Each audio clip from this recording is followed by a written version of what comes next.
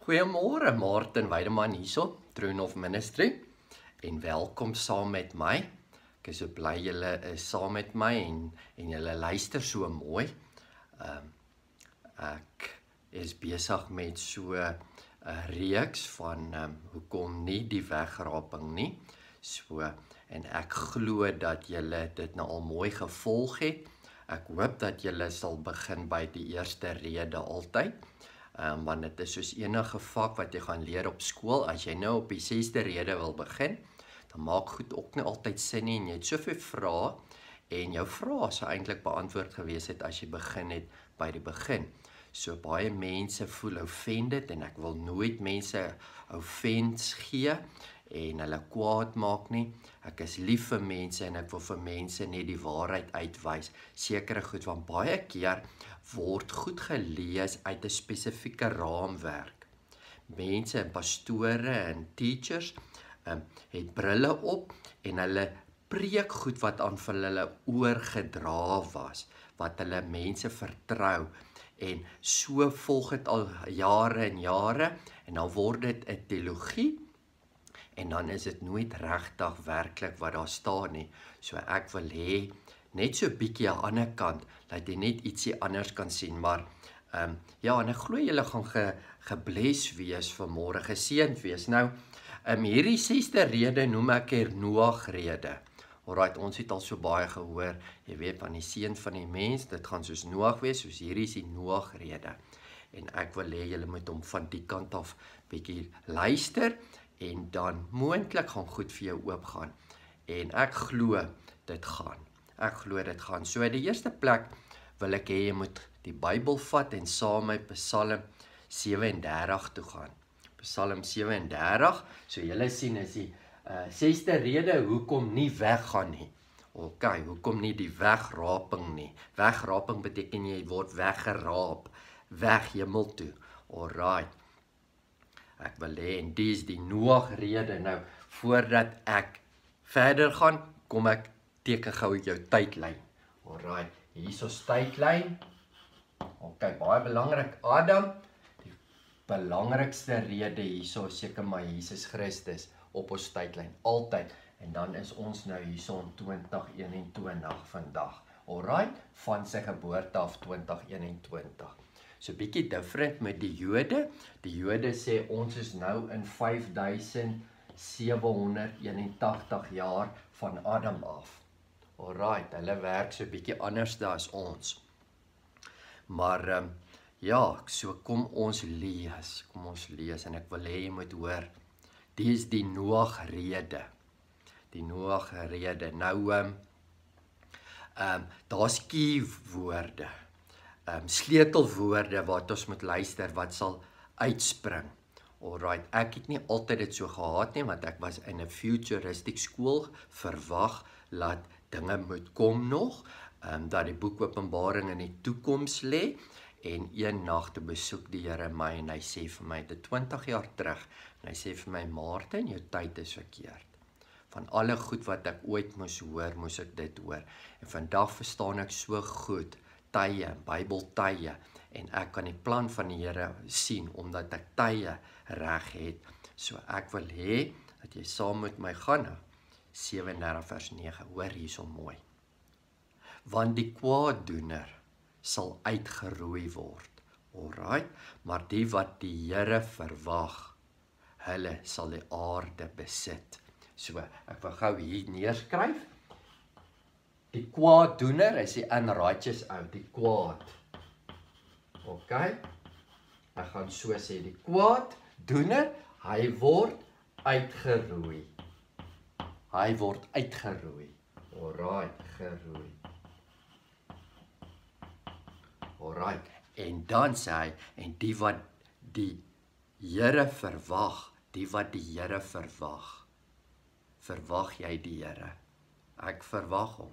Ek verwag hom elke oomblik van die dag geestelik en en wanneer die tyd sal wees dat hy moet weer kom, dan kom hy weer fisies. Alraai. Maar die wat die Here verwag, sal die aarde besit. Nie weg nie, sal die aarde besit. So dis die eerste ding, kwaad uitgeroei word en die goeie een. Ek skryf net hier so onder. Alraai, die wat vir die Here wag. Hy sal die aarde besit en beslag neem. Hy sal op die aarde sit.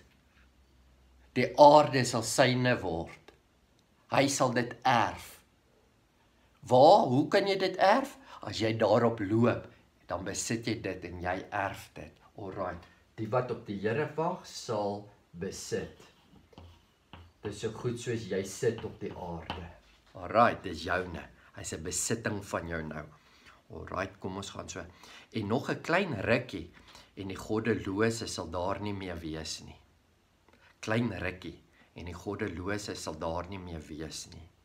Alraai. Ja, jy sal ag gee op sy plek. Ja, jy se ag gee op sy plek. Waar is hulle? Ek het hulle nog gister gesien. Waar is hulle? Hulle Jy sê ag jy, jy sê kyk op hulle plekke. Wat? Hulle was gister nog hier. Alraight, maar hy sal daar nie wees nie. Wie sal daar nie wees nie? Die kwaaddoener en die goddelose. Alraight. Vers 11. Die ootmoediges daarteen.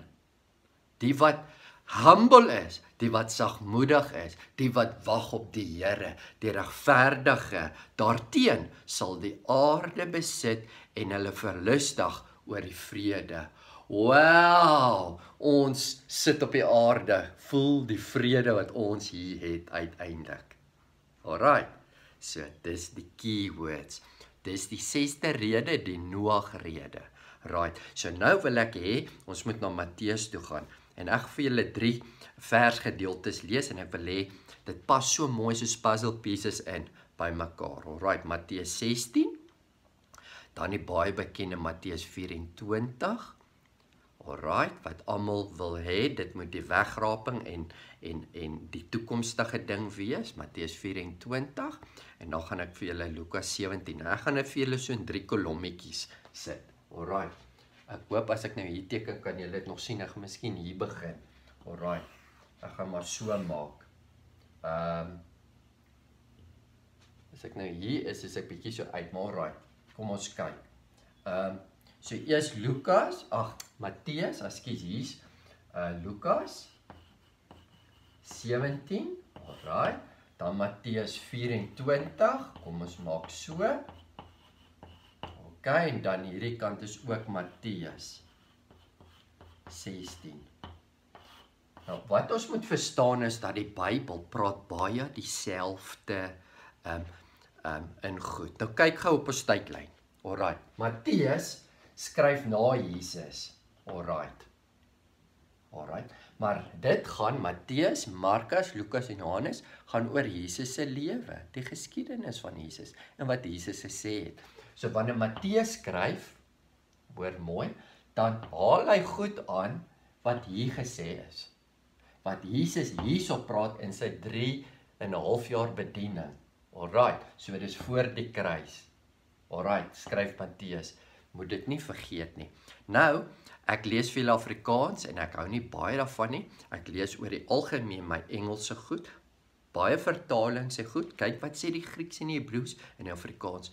Nou die Afrikaans is nie baie goed vertaal nie.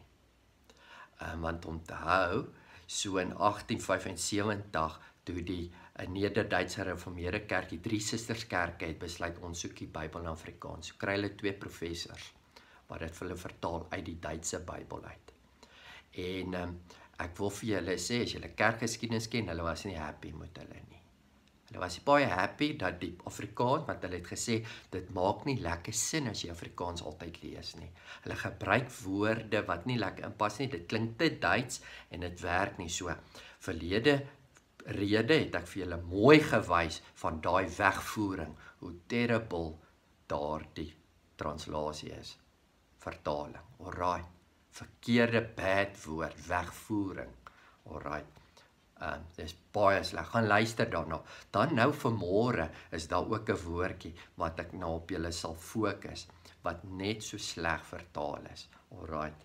Net een woordjie wat totaal en al omdat die ou, die professor, twee professors besluit het, alraight, ons vertaal dit dit vat hierdie woordjie want hy's naby genoeg het dit totaal en al jou mind in 'n ander plek gegooi as wat dit moet wees. Alraai. Een woordjie. Alraai, een woordjie. So kom ons kyk nou.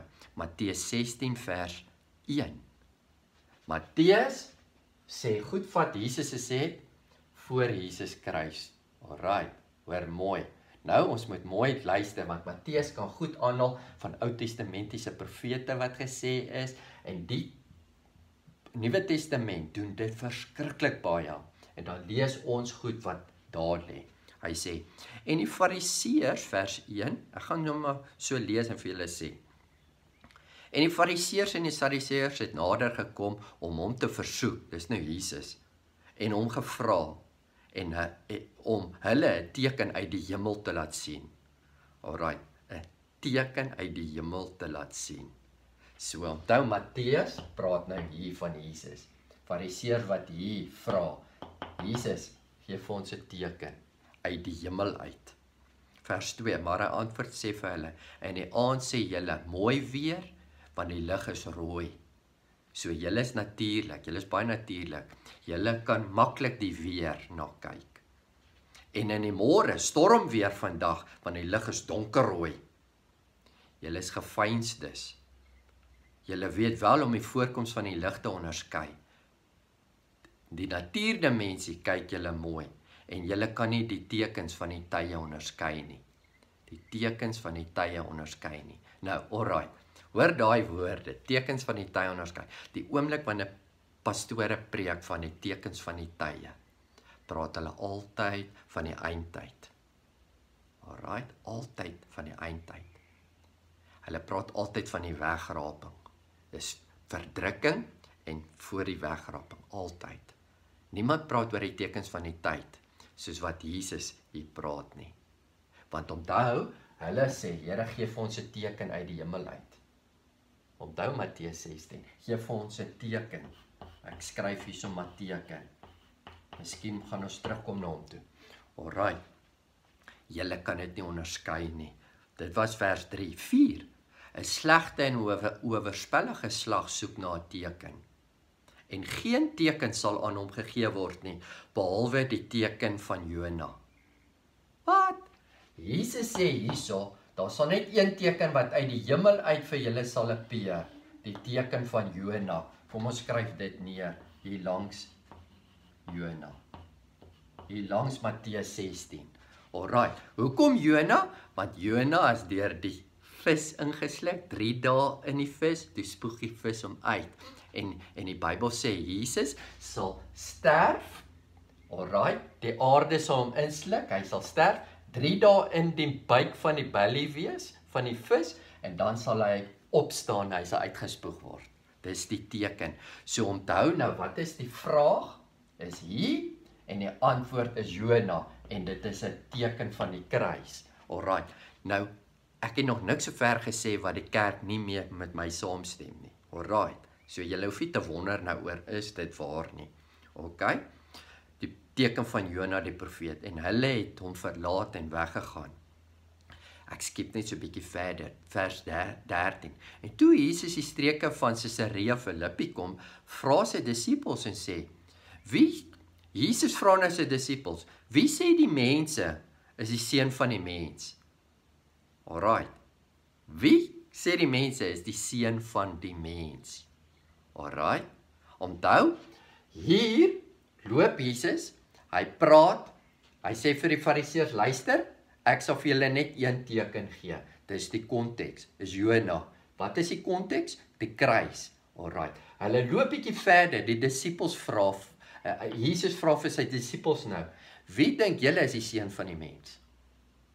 Wat sê die mense is die seun van die mens? O, hulle sê o, sommige sê jy's jy's Elia en maar Petrus sê jy uh, Here, u is die seun van God. U is hy. Alright. Dit was vers 13 gewees. Vers 24. Ons gaan so 'n bietjie verder. Ek wil nie al die skrifte vir julle lees en onthou in dieselfde konteks want Jesus is besig om te loop en te praat. Toe sê Jesus vir sy disippels, nou na julle weet die Petrus ding van ehm um, hoorie, uh O, Jona, ag uh, uh, Petrus, ja. Gees en bloed het dit nou nie vir jou geopenbaar nie. My gees van my Vader het dit in jou openbaar dat jy sê ek is die seun van God. Maar kom ek verduidelik vir julle 'n bietjie verder van die seun van die mens. Alraai. En dit wat jy sê wie ek is. Toe sê Jesus vir sy disippels: As iemand agter my aan wil kom, moet hy homself verloën en sy kruis opneem en my volg. Alraai, my volg. Hy moet sy kruis OK? Hy moet agter hom wat agter my wil aankom, moet homself verloën en sy kruis opneem en my volg. So ek wil hierso sê homself verloën. Alraai, watch hierso. Homself OK, gaan so maak homself en dan sê verloën. Verloën. OK, so jy het dit daar. So die teken is uit die hemel Jona en homself verloon en my volg. Jesus sê dit hierso vir hulle. Vers 24 nou, nê? Dan sê hy, hoor hierso, want elkeen wat sy lewe wil red, sal dit verloor. Maar elkeen wat sy lewe om my ontwil verloor, sal dit vind. Alraai, dan gaan dit neerskryf. Hoor mooi, nê? Hy sê elkeen wat sy lewe wil red. So, jy moet jouself verloon. Jy moet jou lewe verloor. Verloor. Elkeen wat homself wil red sal eintlik verloor, maar as jy jouself verloor, sal jy gered word. Kyk hoor hierso. Want elkeen wat sy lewe wil red, sal dit verloor, maar elkeen wat sy lewe om my ontwil verloor, sal dit vind. So verloor jou lewe. Dit wat belangrik is vir jou in die natuurdimensie, los dit. Fokus op my, verloor jou lewe. Dit was uh oop voor ek 25 en 24 moes gelees het, moes ek vir julle 21 gelees het. Sorry, ek sien nou ek het dit hierso. Hoor hierso Matteus 16 vers 21. So voor hierdie homself verloon, moet jy insit. Want van toe af begin Jesus te toon dat hy na Jerusalem toe moet gaan en veel van die ouderlinge en in die owerpriesters en onder die skrifgeleerdes moes ly en gedood word en op die derde dag opgewek word. OK. So Jonas die teken. Alraai. Dan van toe af vra hy: Wie sê julle is die seun van die mens? Seun van die mens. Alraai. Dis is hy. Hy is die seun van die mens. Wie sê die mense is die seun van die mens? Alraai. Dan sê hy van toe af sê hy hy moet ly en doodgaan waarna praat dit van toe af sê hy nou gaan die seun van die mens ly ok van toe af het Jesus begin um, om sy disippels te toon dat hy na Jerusalem moet gaan veel en veel van die ouderlinge en owerpriesters en skrifgeleerdes moes ly en gedood en op die derde dag opgewek word so dit praat hiervan alright Onthou, ons praat nog steeds van die seun van die mens. Die seun van die mens. Wie sê julle is die seun van die mens? Die seun van die mens moet gaan. Die seun van die mens moet gaan ly en doodgemaak word. Alraai. Vers 27.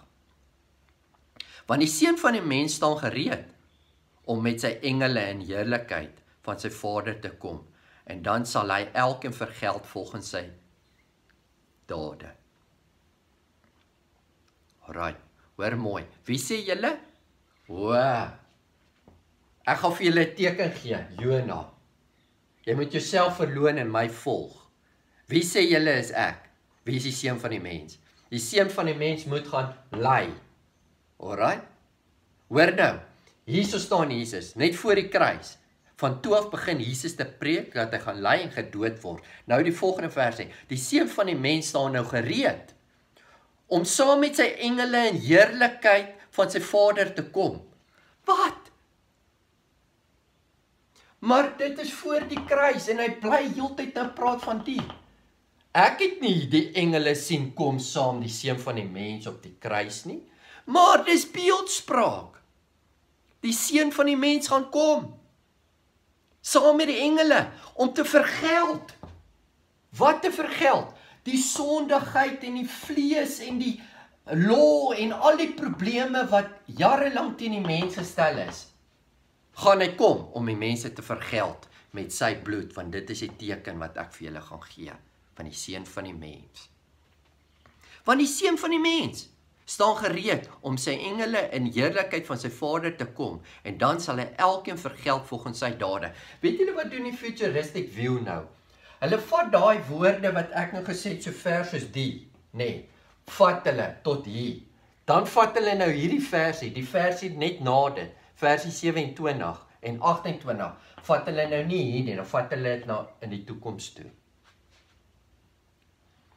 Iets wat moet kom want die seun van die mens daar gereed om met sy engele in heerlikheid van sy Vader te kom en dan sal hy elke vergeld volgens sy dade.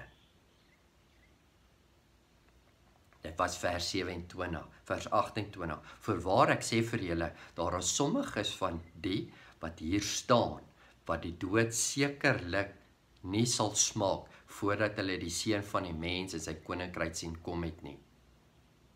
Vergeet alles wat jy sover al gehoor het in die verlede. Luister net hierso. Jesus praat met sy disippels hierso.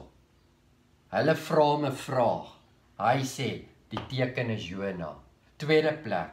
Wie sê julle is die seun van die mens? O, party sê hy's die profete, maar ons kan sien hy's die seun van die mens. Hy's die hy's die seun van die offer. U is die seun van die mens want u is die offer vir die mensdom in die part van Jesus.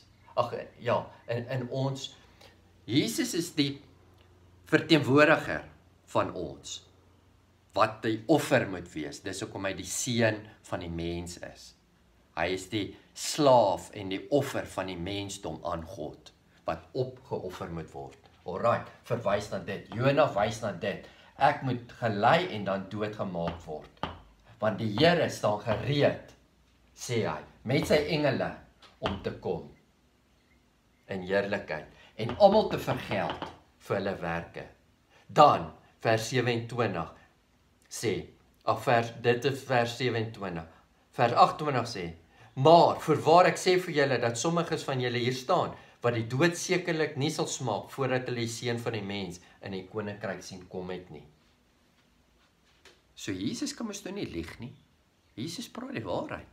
Dis ons wat nie verstaan dat hy praat van die seun van die mens as hier en dat die seun van die mens en sy engele hier gekom het. Want hy praat van hier van die ly en die dood. Hy praat hier van die Jona. Hy praat nie van iets wat in die toekoms lê nie. Hy praat van die seun van die mens wat hier moet kom. Alraai. So het julle die woorde. Alraai, dit was nou Matteus 16 vers 28 gewees. Ek wil nou hê julle moet na Matteus 24 toe gaan. Alraight. Matteus 24, die ou bekende gedeelte wat hulle vat om te sê dat Matteus 24 praat van die eindtye en iets wat moet kom en die seun van die mens. Hulle wag vir die seun van die mens. Maar Matteus 24 is geskryf deur Matteus hierdie kant wat Jesus se gebeurte net van sy kant af verduidelik. Alraai. So Matteus skryf oor dieselfde goed. Lukas skryf oor dieselfde goed. Markus skryf oor dieselfde goed en Johannes skryf dieselfde goed net so bietjie anders. Hy's baie meer geestelik as hulle drie. Hulle skryf baie meer geskiedenis. Wat het Jesus gesê? Matteus, Markus, Lukas. Alraai. So nou het Matteus, ons het met Matteus uh 16 geluister. Julle het dit nou min of meer. Kom ons kyk wat sê Matteus 24. Nou as Matteus 24 en 16 presies dieselfde goed sê. Hoe wil jy Matteus 16 saam my stem dat dit hier is en dan wil jy Matteus 24 vat na ons toekoms toe. Alraai. Dis my hele opinie. 24. As jy met pos pos en gaan drink goue koffie. Alraai, sit af en kom ons gaan aan welkom. En dan uh, Matteus 24 vers 30, ek gaan nou nie vir julle al die gedeeltes lees nie, want ehm um, dit sal ure en ure en ure vat, maar ek kan elke skrif eintlik vat en vir julle so verduidelik. En baie keer dit gebruik ek skrifte en nou in ander redes. Alraai. Maar hierso wil ek vir julle uitwys. Alraai. Matteus 24, dieselfde perikoop, dieselfde geleesde gedeelte van Jesus wat hier by die tempel staan en sê dit gaan vernietig word. Alraai. Wat die einde van die tyd aanwys. Right. Vers 1. Wanneer is die einde van die tyd? Sekere translations sê einde van die tyd en ander sê wanneer is die einde van die wêreld? Ander vertalings. Want wêreld en tyd is dieselfde ding. Maar onthou nie einde van die aarde nie. Dis nie 'n uh, 'n uh, kosmos nie. Griekse woord is nie kosmos. Is nie aarde nie. Dis wêreld. Ons bly in 'n spesifieke wêreld hier. Ek het nou die dag blare bymekaar gehark. Toe kom daar een hengse wind en ek sê vir jou dit het die hele wêreld volgewaai. Dit moes nou nie die hele aarde volgewaai nie. Dit beteken maar net in my wêreld waar ek hier lewe het dit volgewaai. So die Jode vra wanneer is die einde van die plek waar ons nou hier bly? Die einde van ons tyd, die einde van ons wêreld. Alraai? Nie die aarde nie. So. Vers 30 sê en dan sal die teken van die seun van die mens in die hemel verskyn. Alraai. Die teken van die seun van die mens verskyn. So, Here gee vir ons 'n teken van die seun van die mens, Matteus. Die seun van die mens. Gee vir ons 'n teken. Matteus 16 sê Fariseërs teken, al teken van die seun van die mens gee vir ons 'n teken in die hemel is Jona. Matteus 24 sê en dan sal die teken van die seun van die mens in die hemel verskyn. En dan sal al die stamme van die aarde rou bedryf en die seun van die mens sien kom op die wolke van die hemele met groot groot krag en heerlikheid. Hierso sê die die die Here gaan kom, die seun van die mens gaan verskyn in die hemel om al die nasies sê hy mos te vergeld vir hulle dade. Né? Nee? Dit was nou vir Matteus 16 vers 27 die seun van die mens staan gereed om te kom hier om hulle te vergeld vir al hulle dade. Hier sien Matteus 24 die seun van die mens gaan kom. Alraai. En die mense sal rou bedryf. Rou. Want die Here staan gereed om te kom op die wolke. Maar Matteus 16 sê hy kom saam met die engele. En ek het vir julle gelees in vers ehm um, vers uh, uh, uh, die seun van mens sal vers 27. Die seun van die mens sal gereed om met met sy engele in heerlikheid van sy Vader te kom en elkeen te vergeld vir sy werk. Nou sê Matteus 24 net bietjie later, die seun van die teken van die seun van die mens. Die offer van die mens. Die slaaf van die mens. Die een wat die mens gaan kom bedien as 'n as 'n as 'n disipel, as 'n servant. Die mense gaan rou bedryf en hy gaan kom op die wolke. So die een sê saam met die engele en die sê op die wolke. Want sien wanneer Jesus kom, dis die ander gaan kyk die vorige redes, die wolke. Was dit die vorige rede gewees? Ja, was die vorige rede wat ek gesê die wolke praat van sy heerlikheid en die ontslapene saam met hom. En die engele wat saam met hom kom. Dis die wolke. Ons het 'n wolk van getuies om ons. Hy kom in die wolke. Gaan en kyk asseblief na my boodskap ook. En dit kom eintlik, ek gaan dit nog post. The train. Alright. Gaan luister na dit. The train, dit kom nog. om te sien hoe die Here bekleed is met wolke. Alraai, hy kom met die wolke in die wolke. Nie op die wolke nie. Die verkeerde woord daai. Alraai. En hulle gaan rou bedryf. Hy kom in groot krag en heerlikheid. Die seun van die mens, Matteus 24 sê skryf hier wat Jesus gesê het, die seun van die mens kom met wolke, kom met heerlikheid want in die Ou Testament is wolke heerlikheid, dit's glory. Dis nie wolke, ons wolke nie. Ou Testament wanneer die profete praat van die wolk, die wolke, die wolke, dan kan jy hulle gaan kyk al die plekke praat van die heerlikheid van die Here het die het gevul, die plek gevul, die wolk van die Here het ingekom. Is heerlikheid. Alraight. Is nie sy teenwoordigheid. Alraight, dis nie letterlike wolke as die Ou Testament profete daaroor praat nie. Nou sê Jesus hier die seun van die mens is die Jona teken. Die seun van die mens is die is die uh, los jouself en volg hom. Die seun van die mens is wanneer jy jy jou lewe verloor en hom volg en hy ly en dood. En dis die teken wat hy kom op die wolke. Hoor hierso. Dit was vers 30. 31 en hy sal sy engele uitstuur met harde tromp geluid. Matteus 24. Matteus 16 het gesê hy kom met sy engele in heerlikheid. Wat wolke is? Engele? Wat die wolke in die heerlikheid is. Hier sê Matteus 24 Die seun van die mens kom. Rou bedryf. Die mense moet rou. OK. Bedryf. Hulle moet rou. Dan sê hy hierso en sy engele gaan hy uitstuur met harde tromp gelei en hulle sal die uitverkone versamel uit die vier windstreke van die een einde van die hemel af tot aan die ander einde daarvan. Die seun van die mens gaan kom saam met engele of saam met wolke. Die engele gaan hy uitstuur om almal te gather. En so gaan die nasies rou bedryf want die Here gaan nou iets doen om hulle te red van hulle sonde en hulle goed. Alraai. Dan vers 24. Ag uh, Matteus 24 vers 32. Leer van die vyeboom hierdie gelykenis. Kyk na die vyeboom om die tekens van die tye te sien. Hierdie gelykenis. Alraai. Wanneer jy 'n tak al sag word en sy blare uitblot, weet julle dat die somer naby is. So weet julle ook wanneer julle al hierdie dinge sien dat dit naby is en voor die deur.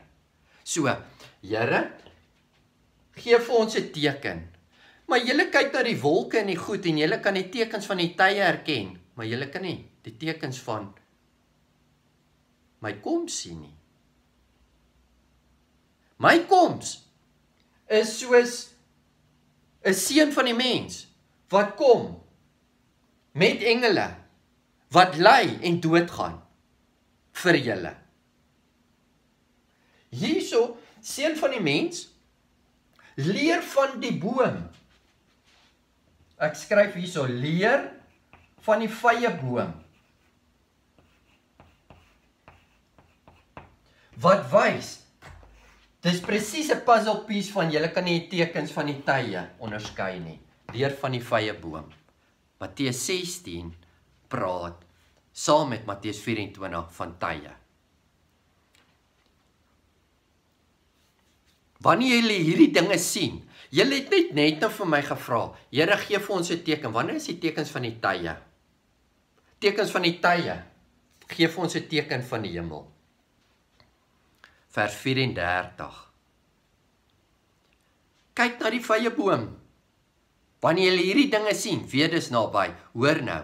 Voorwaar ek sê vir julle vers 34, hierdie geslag sal sekerlik nie verbygaan voordat al hierdie dinge gebeur het nie. Voorwaar ek sê vir julle hierso dat sommiges van julle sal staan. Wat was dit Matteus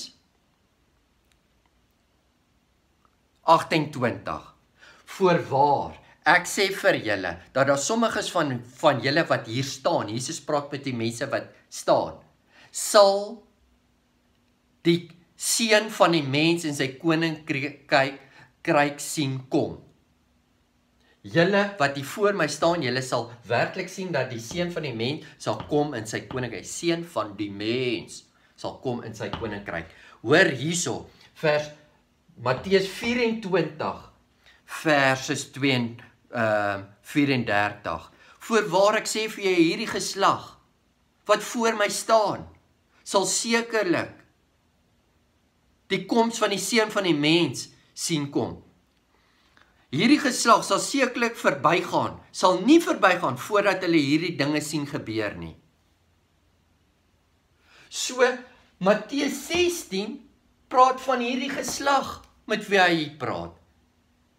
En hier sê hy in Matteus 24 Julle wat na my luister, dit sal sekerlik nie verbygaan nie want ek praat van die seun van die mens as hierdie koms met engele en met wolke wat die nasies gaan laat rou en die angels gaan uitgestuur word reg oor die wêreld sodat hulle na die kruis moet kyk en dat hulle gesepareer moet word.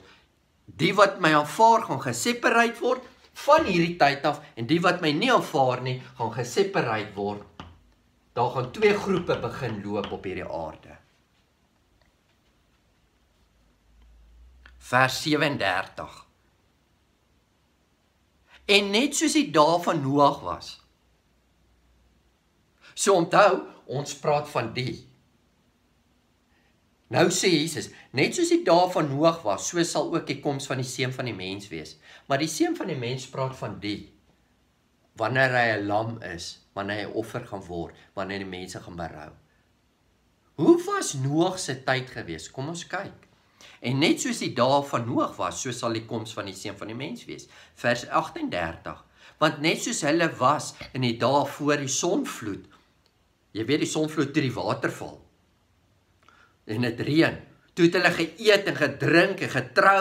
Hulle het in die huwelik uitgegee tot op die dag dat Noag in die ark gegaan het. Vers 39 en dit nie verstaan het voordat die sonvloed gekom het en almal weggevoer het. En almal weggevoer het. Hulle het gedans en hulle het geparty en hulle het gesien Noag gaan in die ark in. Hy's beskerm en die water het gekom en hulle weggevoer. Hulle weggevoer. Alraai. Nou kom ons lees net weer gou Psalm 37 want die God het want die kwaaddoener sal uitgeroei word. Wat die maar die wat uit die Here verwag sal die aarde besit. Klein rukkie en die goddelose sal daar nie meer wees nie.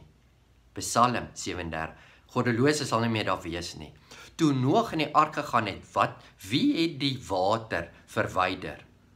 Hy het die goddelose verwyder op die aarde. Seun van die mens gaan dieselfde doen. Hulle gaan party. Hy kom in eerlikheid.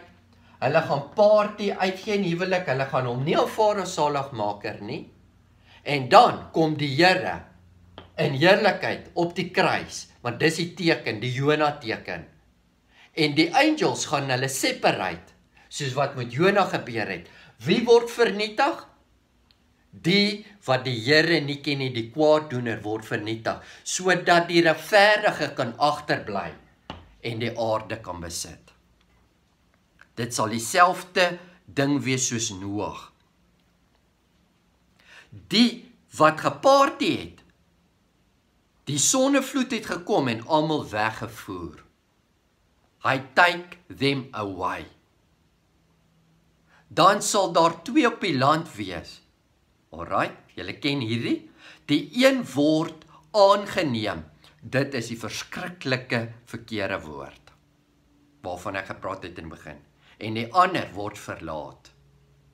Die een word aangeneem. Daai moes die een word getyk en nie aangeneem nie, want ek wil graag hê Jesus moet my aanneem. Neem Jesus aan as saligmaker, so dis heeltyd in ons kop. So die oomblik wanneer ons lees in die Afrikaanse Bybel dat Jesus gaan sekerlike mense aanneem, dan voel ons dis die goeie een, maar dit is nie, want die is die bad verkeerde woord wat vertaal is. Alraai, deur die toy. Alraai. En Kestel. Dis nie aan aangeneem het dit is neem wegneem. Alraai want die goddelose word weggeneem deur die vloed van Noag. En die Here gaan kom en die engele gaan hulle uitsorteer en die vuur gaan val en die mense gaan rou oor hulle sondes. Maar die wat Jesus gaan aanvaar, gaan gelos word. Want hulle sien Jesus om op die aarde te wees. En die wat hom nie aanvaar nie, word weggeneem, word geneem. En die Engelse woord sê taken. So in die Engels sê hulle taken en left alone. Maar ons lees nou die taken is die goeie kant en die left alone is die bad. So nou het ons die wegraping mentaliteit. Want die Here word hy gaan ons tyd. Waar jy moet ons tyd? Hy moet ons tog hemel toe vat. So dis die goeie kant. En hy left die baddies op die aarde.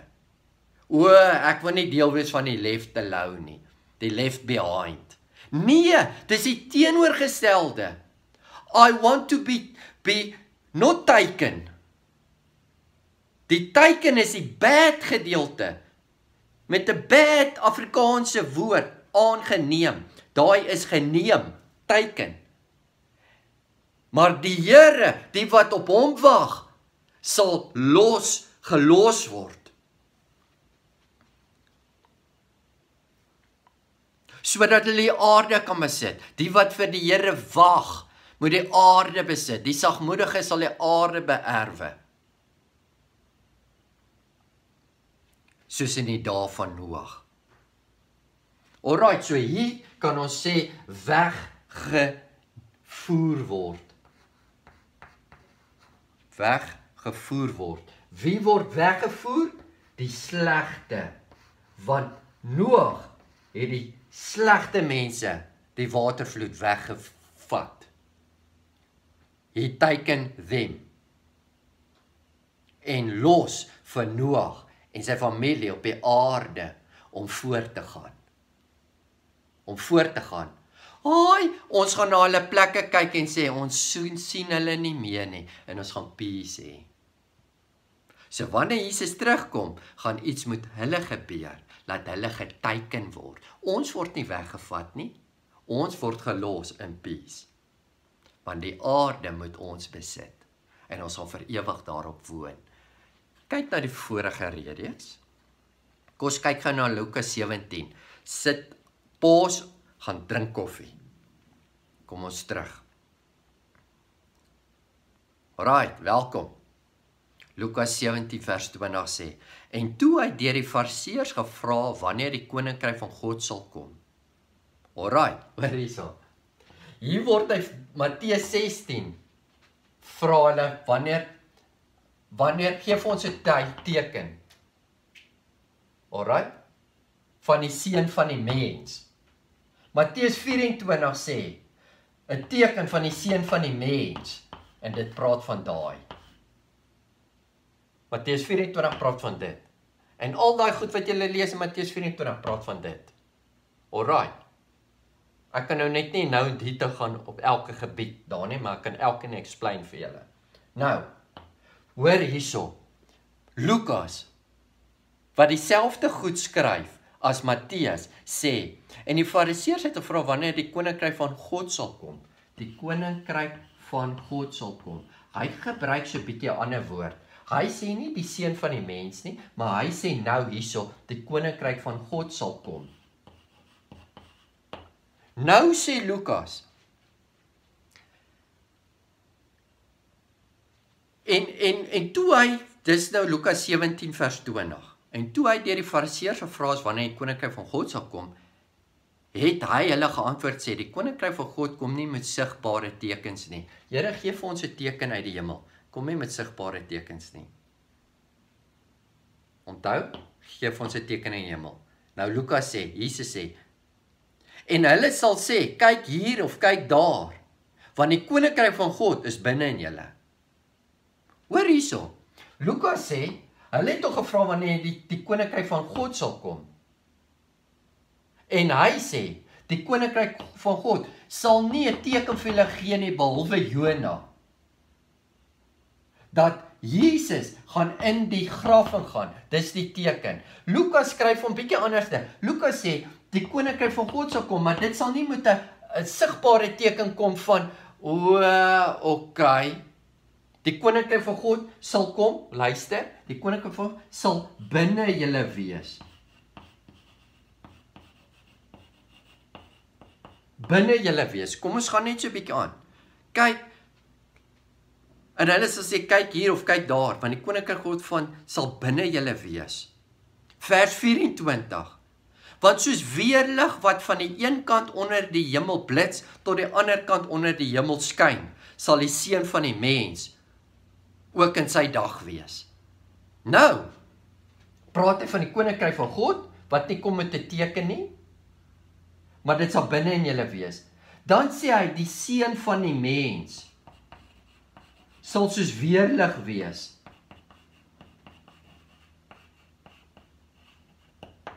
Jesus sê julle sal sekerlik die seun van die mens sien kom in sy koninkryk. Hier die seun van die mens sal kom in sy koninkryk. Hier vra hulle wanneer kom die koninkryk, die koninkryk van God? O, dit sal nie met 'n sigbare teken wees nie, want dit sal binne in julle wees. Wanneer kom die koninkryk van God binne mense? Van die kruis af kom dit binne ons. Dan sê hy, die seun van die mens sal soos 'n weerlig wees. Dit sal gesien word. Wat blits. Vers 25. Maar eers moet hy baie ly en deur hierdie geslag verwerp word. Maar eers moet hy baie ly en verwerp word. Van toe af het Jesus gepraat hierso en gesê die seun van die mens moet kom, maar hy moet ly en dan moet hy dood. Hy moet ly en dan moet hy dood. Die dood is die kruis. Lukas sê die seun van die mens sal soos 'n weerlig wees. Dit sal soos 'n weerlig gesien word. Hy sal kom op die wolke. Die wolke gaan weerlig toe toe maak. Maar vers moet hy ly voordat hy gedood word. Voor hy die weerlig slaan, moet hy gelei. So wanneer ly hy voor die kruis? Kom ons gaan aan. Maar eers moet hy baie ly deur hierdie geslag en verwerp word. En soos dit gebeur het in die dae van Noag, so sal dit ook wees met die seun van die mens.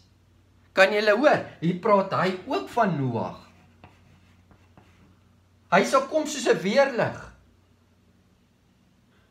Maar die weerlig sal die kruis wees.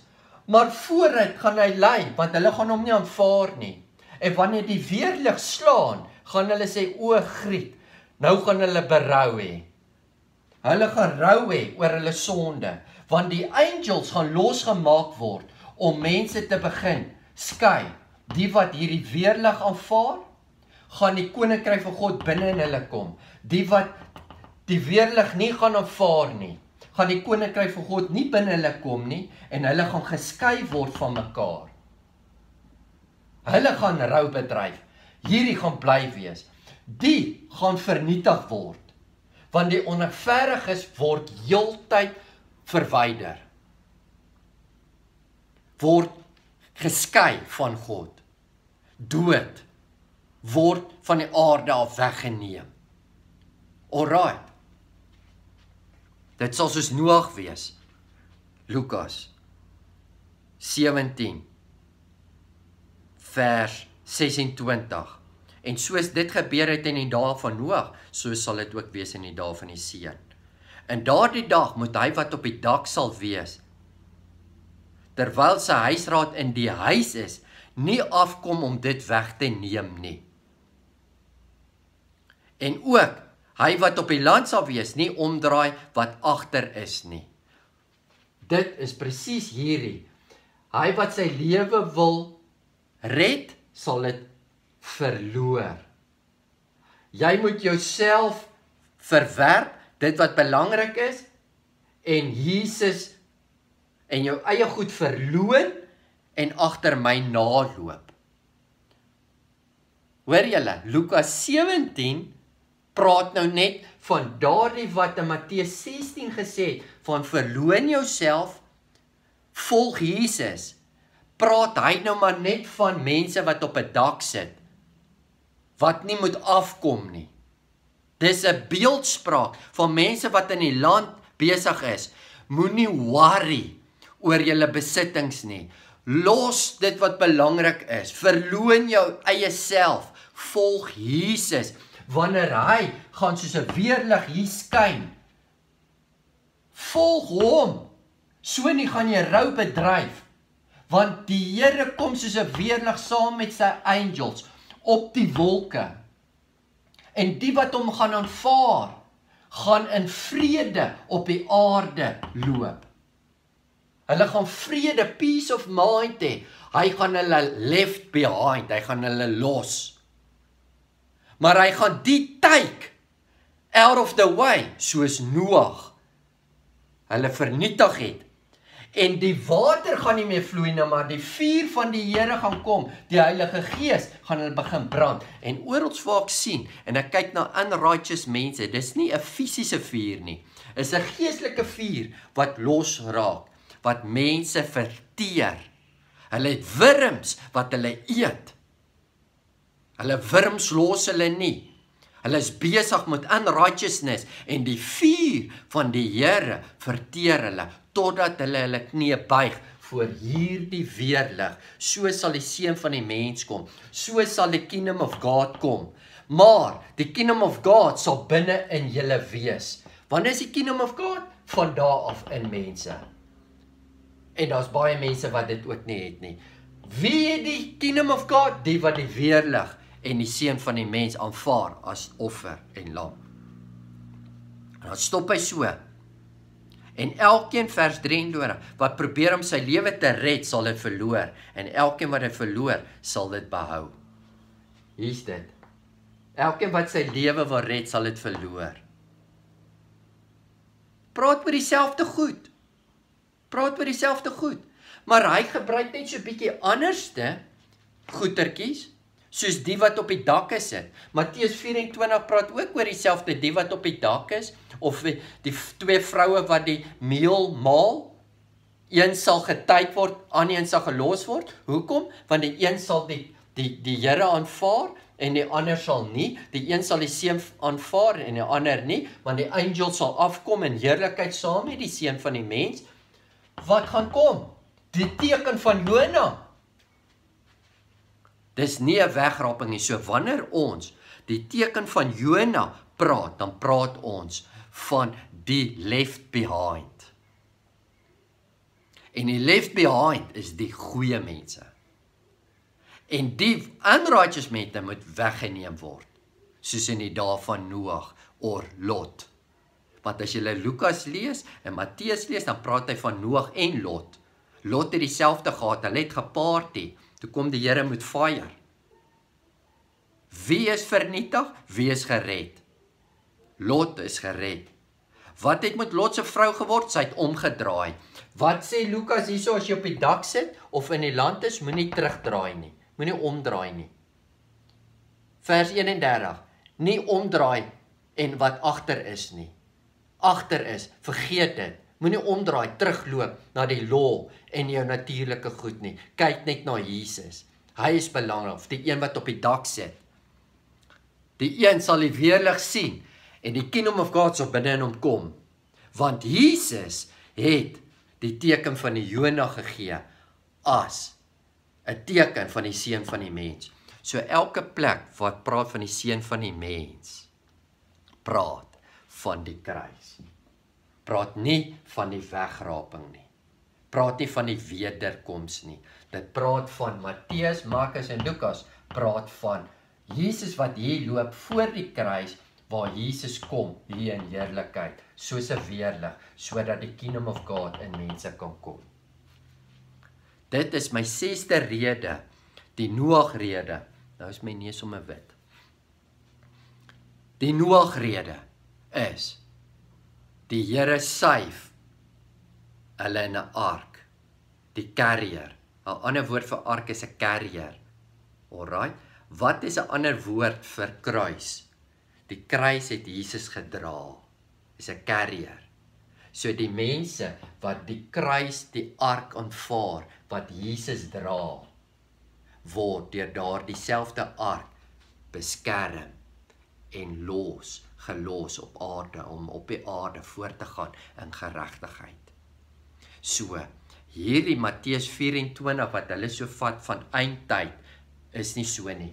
Matteus 24 pas in by Matteus 16 en Lukas 17 waarvan gepraat word van die kingdom of God en van die seun van die mens wat as 'n teken gegee gaan word as 'n kruis, 'n weerlig, sommiges gaan aangeneem word en ander word gaan gaan uh, weggeneem word.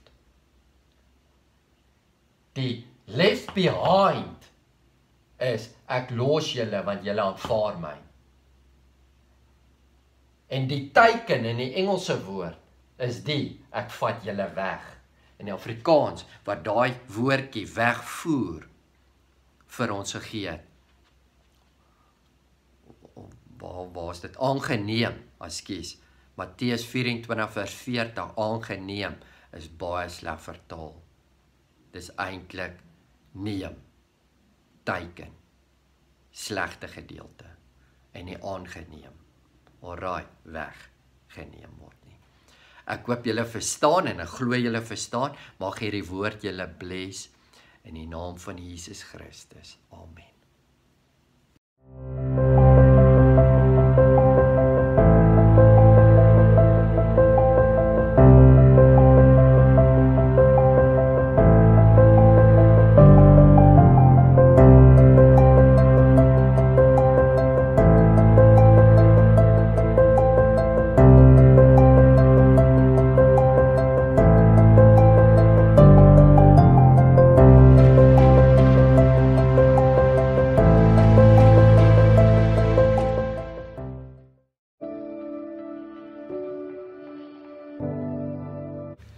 Hey guys, Lamil Veneman here from True North Ministries.